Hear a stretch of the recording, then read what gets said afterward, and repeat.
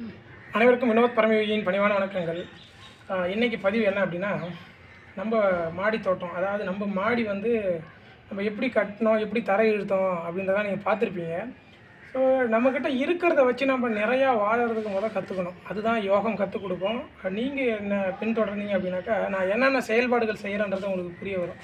தேவையில்லாமல் உங்களுக்கான வேலைகளை தேவையில்லாத ஒரு வேலைகள் நீங்கள் செய்கிறதுக்கு முன் வர மாட்டீங்க. உங்களுக்கான வேலைகளை நீங்கள் உருவாக்கிட்டே இருக்கலாம். சார் எனக்கு வேலை இல்லை சார். நான் என்ன சார் பண்ண போகிறது என்ன பண்ண? அப்படின்னு நீங்கள் ஒரு பொழுது நினைக்காம உங்களுக்கான வேலைகளை நீங்கள் உருவாக்குங்க. அதுதான் உங்களை வந்து நிறைவுபடுத்தும். நீங்கள் இந்த உலகத்துக்கு வந்ததுக்கான ஒரு வேலையை நீங்கள் கொண்டு வர முடியும்.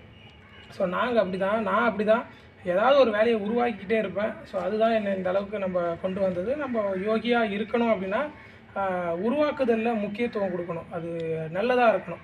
இன்றைக்கி நம்ம வீட்டில் இருக்கக்கூடிய இந்த இடத்துல நம்ம என்ன மாதிரி செடிகளை உருவாக்க போகிறோம் இதில் ஏதாவது காலையில் எழுந்து வந்து அந்த செடிகளுக்கு தண்ணி ஊற்றும் போது நம்ம மனம் ஒரு நிறைவு பெறும். ஸோ அதுவே ஒரு விதமான யோகம் தான். இது என் குழந்தைகள் பார்க்குது அப்படின்னாக்கா என் குழந்தை பார்த்துட்டு கா சாயந்தரமாக காலையில் தண்ணி ஊற்றும் பொழுது ஒரு உயிரினத்துக்கு நம்ம தண்ணி வைக்கணும் அப்படின்ற ஒரு எண்ணம் அவங்களுக்குள்ளே உருவாகும். ஸோ இது மாதிரியான நல்ல நல்ல எண்ணங்களை நம்ம தான் உருவாக்கணும். யார் உருவாக்குறாங்களோ நல்லதை அவர்களே யோகி அவர்களே யோகத்திற்கான வழி நடக்கிறார்கள் அப்படின்றது தெரிய வந்துடும் ஸோ இது வந்து எருக்கள் வந்து கலெக்ட் பண்ண வந்துட்டேன். மண் கலெக்ட் பண்ணி வந்து இது மாதிரியான நம்ம எருவும் மண்ணையும் ஒன்றா சேர்த்து சம நிலையில் கொண்டு வந்தால் தான் செடிகள் வந்துட்டு நல்ல அழகாக இயல்பாக வளரும். நல்லா மண் கெட்டியாக இருந்ததுன்னா வேர்கள் இறங்குறதுக்கு ரொம்ப சிரமமாக இருக்கும். ஸோ அதை வந்து நீங்கள் தெளிவுபடுத்திங்க எல்லாருக்குமே தெரியும். நான் என்ன பண்ணுறேன் என்னோட நேரங்களை நான் எப்படி பயனுள்ளதாக ஆக்குறேன்றதை மட்டும்தான் நீங்கள் இந்த பதிவில் பார்க்குறீங்க இந்த எரு வந்துட்டு ஒரு நண்பர் வீட்டில் இருந்து கேட்டு வாங்கிட்டு வந்தது. இதை இது வந்து மண்ணு கூட கலந்து இது மாதிரி நீங்கள் ரெடி பண்ணிட்டீங்க அப்படின்னா நான் வந்து தரை இழுக்காமல் நான் வந்துட்டு செடி வைக்கலாம் அப்படின்னு எங்கள் வீட்டில் சொன்னாங்க. பட் எனக்கு பொறுத்த வரைக்கும் அப்படின்னா ஒரு வேலையை செய்தோம் அப்படின்னா தெளிவுபடுத்தி செய்யணும். இந்த தர வரைக்கும் நான் வெயிட் பண்ணியிருந்தேன். எனக்கு காசு வர வரைக்கும் காசு நம்ம சேர்த்து வச்சுட்டு அப்புறம் தரை போட்டுட்டு அதுக்கப்புறம் செடி வைக்கணும்னு நினச்சேன். அதே போல் நகையை வச்சு தான் இந்த தரையை போட்டேன். அதுக்கப்புறம் சம்பாரித்து நகையை மூட்டாச்சு. இப்போது கொஞ்சம் கொஞ்சமாக ஜாடிகளை நான் வந்து அப்போயே பிளான் பண்ணி ஜாடிகள்லாம் வாங்கிட்டு வந்து வச்சுருந்தேன். இப்போ இருக்கிற ஜாடிகள்லாம் கொஞ்சம் கொஞ்சமாக வாங்கிட்டு வந்தேன். இது கவர்மெண்ட்டில் ஒரு கம்மி ரேட்டுக்காக கொடுத்தாங்க. இந்த க்ரீன் கலர் பேகு அது கொஞ்சம் வாங்கிட்டு வந்து வச்சுருந்தேன். மற்ற மெட்டீரியல் இந்த பாக்ஸ் நான் ஏற்கனவே சொல்லியிருப்பேன். இந்த ப்ளூ கலர் பாக்ஸ் வந்து ஸ்க்ராப்பில் இரநூறுவா ஒரு பாக்ஸ்னு சொல்லிட்டு வாங்கிட்டு வந்தேன். அதில் இப்போது வந்து கொடி ஐட்டங்கள் அதாவது புடலங்காய் அப்புறம் வந்துட்டு பாகற்காய் அதெல்லாம் கொடி ஐட்டம்லாம் போட்டுட்டேன். ஸோ இப்போ இந்த ஒர்க்கும் பண்ணுறேன் நிறைய பேர் கேட்டிங்கன்னா சார் எதையுமே எல்லாத்தையுமே செஞ்சுட்டு இருக்கீங்க. அப்படின்னா கண்டிப்பாக ஒரு யோகி என்பவன் அனைத்தும் கற்றுத் தெரிந்தவனாக இருக்கணும். ஒரு சித்தன் என்பவன் ஞானம் பெற்றவனாக இருக்க வேண்டும் அறிவு படைத்தவனாக இருக்க வேண்டும். அப்போ ஒரு யோகியாக ஆகணும் அப்படின்னாக்கா அனைத்து கலைகளிலும் வல்லவனாக இருக்க வேண்டும். நிறைய கருத்துக்களையும் நல்ல அறிவுகளையும் உள்வாங்கியிருக்க வேண்டும். ஸோ அது வந்து என்கிட்ட கடவுள் கொடுத்ததுனால நான் எல்லாமே உள்வார்ந்து உள்வாங்கி அதை செய்கிறதுக்கு எனக்கு கடவுள் அந்த எனர்ஜியை கொடுத்துருக்கான் சக்தியை கொடுத்துருக்கான்.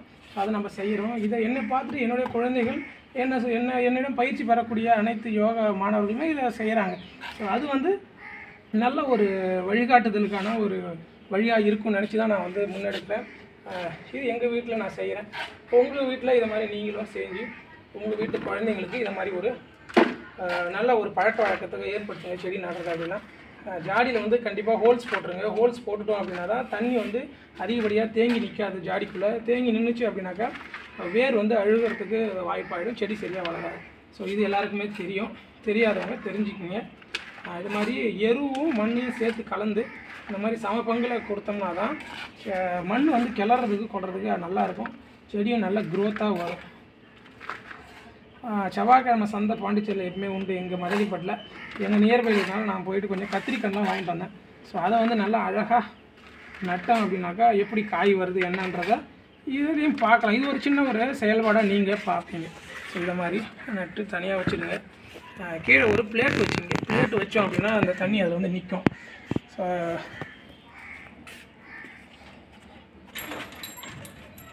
இருக்கிற ஜாடிலாம் ஃபில் பண்ணுறேன் இந்த பக்கம் இருக்கிற ஜாடிலாம் பாருங்கள் எப்படி இருக்குது அப்படின்ட்டு. இதெல்லாம் வந்து அப்போ வந்து பத்து ரூபாய்க்கு வாங்கினேன் இந்த ஜாடி. இப்போ இந்த ஜாடி வந்து இதுவும் பத்து ரூபாய்க்கு வாங்கினேன் இதுவும் பத்து ரூபாய்க்கு தான் வாங்கினேன்.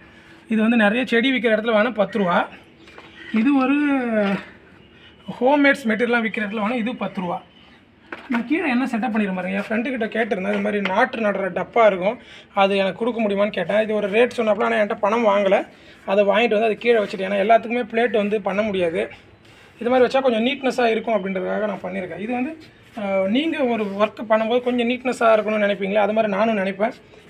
ஏன்னா யோகி என்பவர் பர்ஃபெக்ட்னஸ் இருக்கணும். அது பர்ஃபெக்டாக இருக்கணுன்றது எந்த அளவுக்கு முயற்சி பண்ணமோ அந்த அளவுக்கு பண்ணிட்டு வாங்க. ஸோ இதுதான் நான் இப்போதைக்கு வச்சுருக்கிறது. அப்படி நீங்கள் லாஸ்ட் வாங்க. இது வந்துட்டு ஃபிஷ்ஷி விட்டு ஒரு அல்லிப்பூ அதாவது லில்லியை வச்சுருக்கேன்.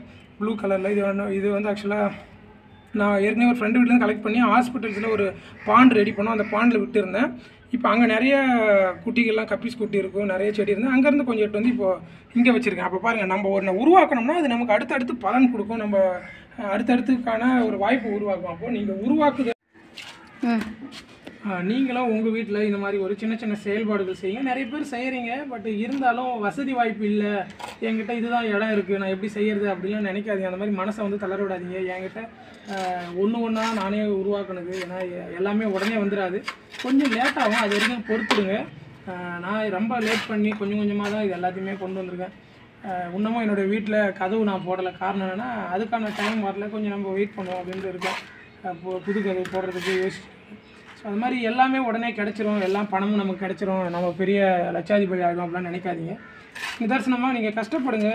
உங்களுடைய உழைப்பு கொடுத்துக்கிட்டே இருங்க. கண்டிப்பாக உங்களுக்கு ஒரு நாள் சக்ஸஸ் கிடைக்கும். ஸோ இந்த மாதிரி நீங்களும் ஹாப்பியாக வாழலாம். யோகா நெறியில் நீங்கள் நடக்கலாம். வாழ்க யோகம் யோகம் நடட்டும் கண்டிப்பாக அடுத்த பதிவில் உங்களை சந்திக்கிறேன். நன்றி.